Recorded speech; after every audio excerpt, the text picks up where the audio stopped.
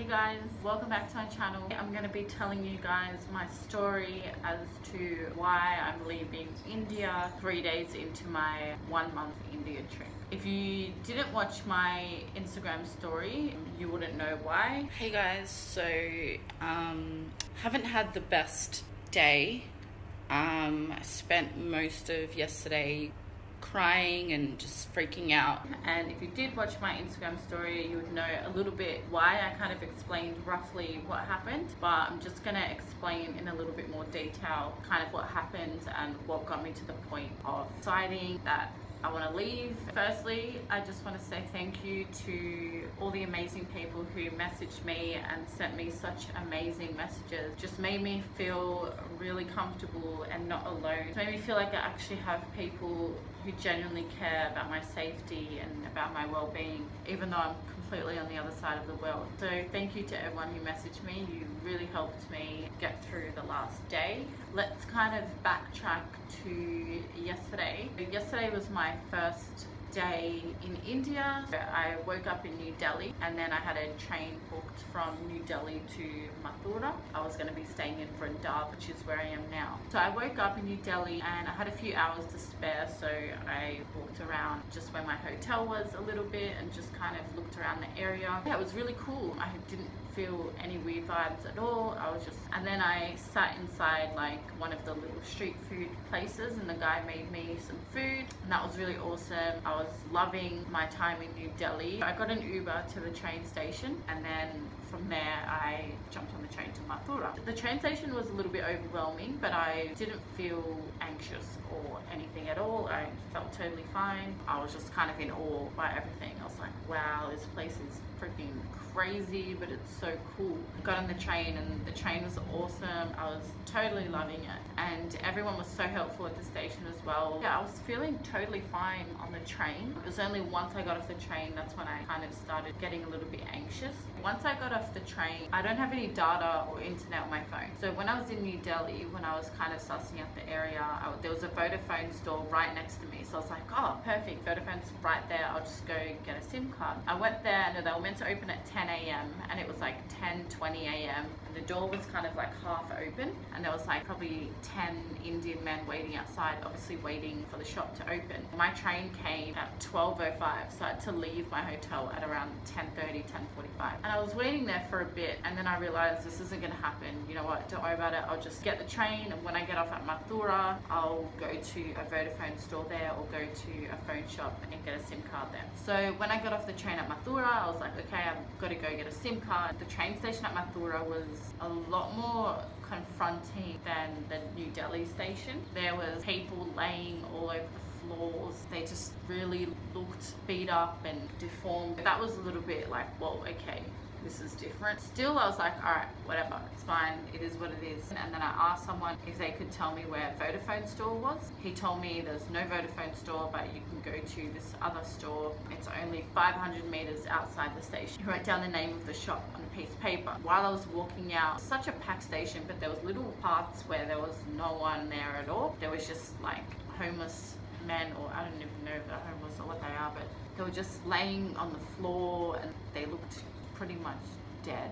And there was just like a guy on the floor and his whole face just burnt and he had mosquitoes on his eyeballs. I was alright, but at the same time I was a bit like, alright, I don't know, like this could be a bit dangerous. Like what if one of them just wakes up and I don't know, starts coming at me or something. Anyways, eventually I got out from there and I got out onto the street. I had this idea that Mathura was like a city, which it is. Once I got out the station, there was nothing there. Dirt, track, and there was no buildings, nothing, an empty dirt track. Once I got out, I got bombarded by probably 20 or 30 Indian men that were just saying, oh, taxi, taxi, taxi, come with me. See, I take you, I take you. And I was like, no, no, it's okay. I don't need to go anywhere. I need to go here. And I showed them the piece of paper. I said, you know where this place is? It's only two minutes away. The guy told me it's a 500 meter walk from the station. And they were like, yes, yes, I'll take you. I take you. 100, 200, whatever. And I'm like, no, I can walk. It's close. Can you tell me where it is? And they just wouldn't stop. At this point, I started getting a bit emotional because I was like, you know what? Like, I'm on this freaking road in the middle of God knows where. I don't know where I am. I don't have any data or any internet on my phone. And all I want to know is where this phone shop is so I can go and get a SIM card and figure out where I am and where I'm going. And none of these men are telling me where this phone shop is. All they want is for me to jump in their taxi. At that point, I just really didn't feel like I could trust any of them because they couldn't even give me a straight answer and tell me where the shop was. I asked them, do you know where the shop was? And they said, yes, yes, yes, I know, I know. And I said, okay, where it is? And they say, I take you, I take you. Like they knew where the shop was, but they wouldn't tell me where it was. I started getting really emotional. I just kept walking. I was like, whatever, these guys aren't helping me. So I just kept walking and I kind of started getting that like crying feeling. And they were all just following me. It's not like they stopped coming after me once I said, no, it's okay. They literally were all just following me, crowding around, like literally like 20 men crowding around me. I wanted to cry, but I didn't want to cry in front of them. So I just kept holding it in.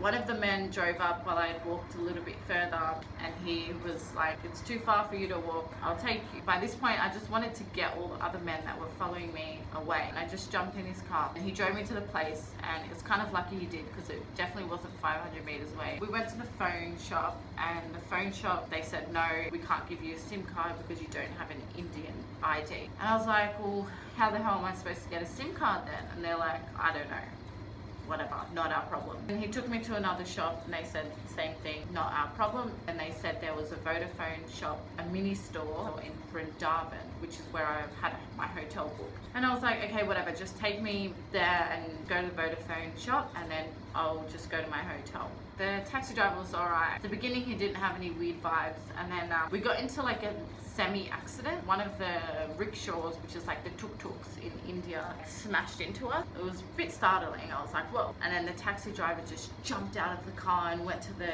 rickshaw driver and started going at him. It looked like he was about to beat him up. He had his fist up. I was like, what the hell's going on? Oh my God, you know, what have I got myself into? I could tell his vibe just started to change. Just the questions he was asking started to change and he started looking me directly in the eyes, whereas before he was just driving and looking forward. He was like looking really deep in my eyes. Then he started asking me if I had a boyfriend. I just lied. I was like, yeah, I have a boyfriend. He's in Sydney. He's like, no, you don't have a boyfriend. Um, you be my girlfriend, whatever. He just kept asking me over and over. He's like, why not? Why won't you be my girlfriend? Blah, blah, blah. Just being super weird. By this point, I was like, oh my God, what is going on. I just landed here last night and now this is happening. Don't even know if he's taking me to the right place. I have no idea where I am. He could be taking me anywhere, God knows.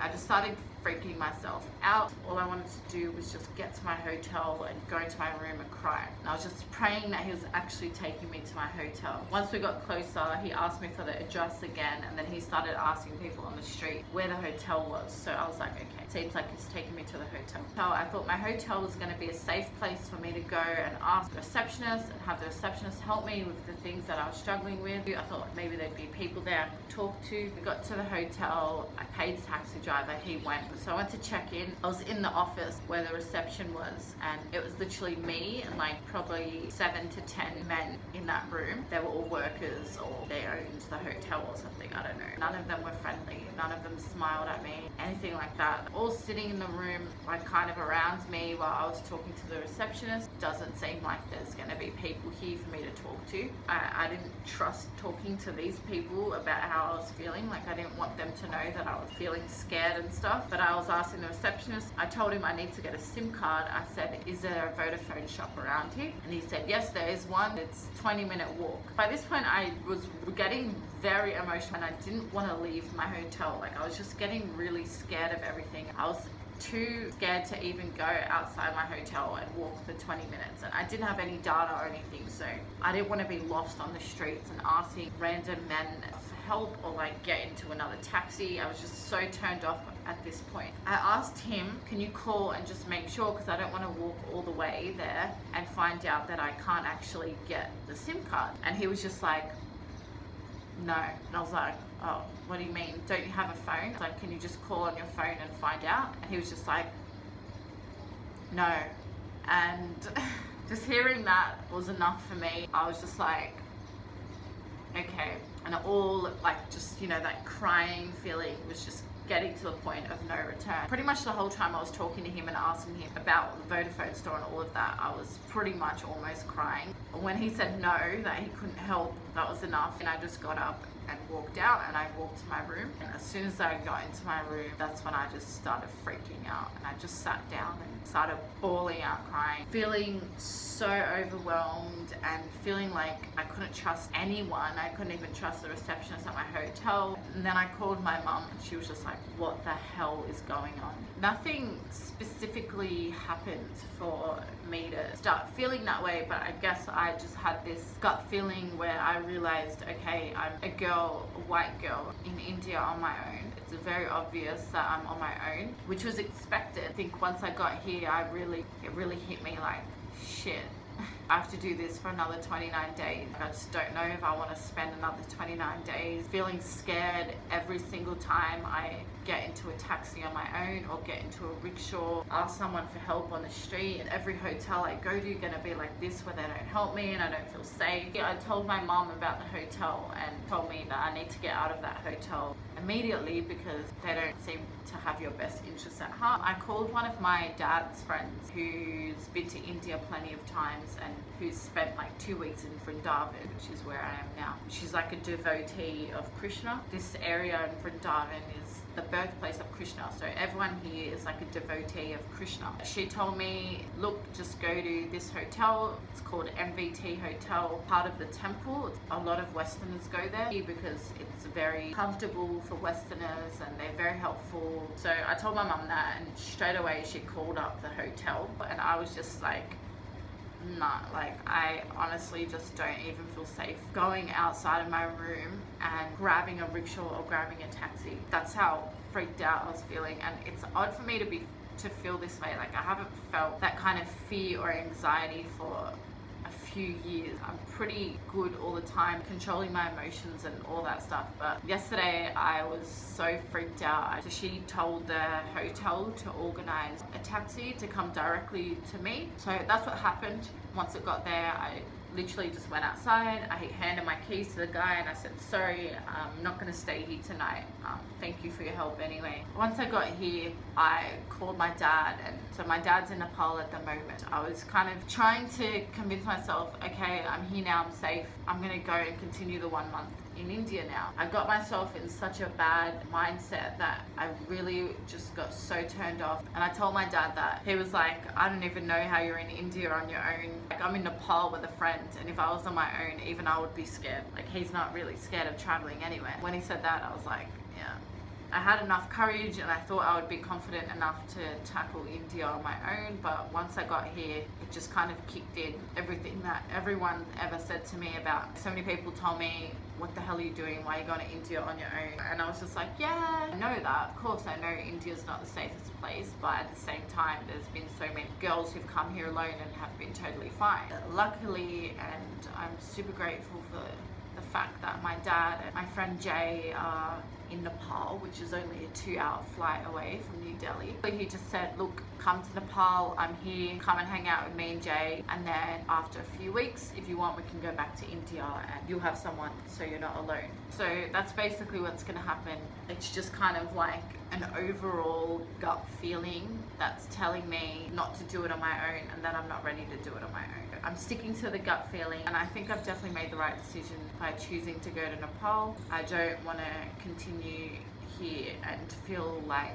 I'm not safe or feel vulnerable or anything like that. Better safe than sorry always. Try not to make myself feel so bad about it. I was feeling really shit yesterday just kind of working myself about like, damn, I thought I could do it. I thought I could do India on my own. I thought I was strong enough. I thought I was confident enough and independent enough to do it on my own. So I kind of made myself feel bad. I was a little bit worried about telling all you guys and everyone that I know that I was struggling here and that I wanted to leave. Kind of felt a bit ashamed of the fact that I was feeling really scared and overwhelmed. It's nothing to be ashamed of. It's natural to feel overwhelmed in a foreign country, especially a country like India, especially coming here as a white female on her own who's never been here before. It was a long shot by coming here and I, I am proud of myself that I even got to the stage of deciding to come here and I did come here on my own. My intent was to stay here for a month on my own and I really thought I was to be able to do it. I've assured myself that not many girls would even attempt to travel anywhere alone in the world, let alone India.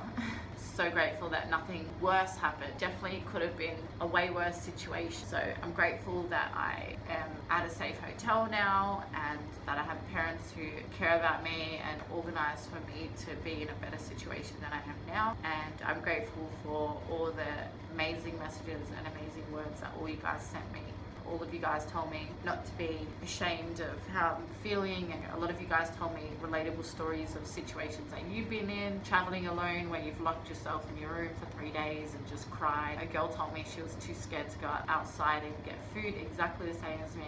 Shit happens, you live and you learn, you experience things and you learn from them and this is just one of those situations where I've experienced something and I've learned from it and it definitely hasn't turned me off India even though I've been scared and anxious, I've still been looking around like, wow, you know, still in awe. And all I need is just one person with me so that I can fully enjoy my experience and make the most of it. But I just don't want to do it in a way where I'm on edge. Hopefully I can come back with my dad. I'll be able to do it even better. Me and him can go down alleyways and do all the things that we like to do when we travel. To being here on my own as a female is just holding me back too much. It would be taking away from the experience that I want from India. And I don't want that. India is a place I've always wanted to visit ever since I was a little girl. I've always said I want to come to India. Who knows, maybe one day, once I get a little bit more experience traveling alone, then I'll come back and be able to do it on my own. Or at least after I I've been here once and I kind of know the go, know how to handle the people, haven't cried like that or been so freaked out. Basically had panic attacks and anxiety attacks all day yesterday. I haven't had that for so long. Hopefully we can turn this little holiday around. Oh, and also I lost my camera, charger and battery. That kind of really upset me yesterday as well because obviously I wanted to record a lot of stuff for you guys and put out content and show you guys my trip and show you guys India and now I'm going to Nepal and like show you guys Nepal. But I can't use my camera for now. I'm recording off my phone for now and it's decent quality, uh, not as good as I would want obviously, but at least I can record stuff and still get content out. That's about it guys. That's my little story as to why I'm leaving India. If you guys have had any similar experiences or you have any funny stories from traveling alone or even traveling with other people, please leave me a comment down below and let me know. I would love to hear. That's it guys. Bye.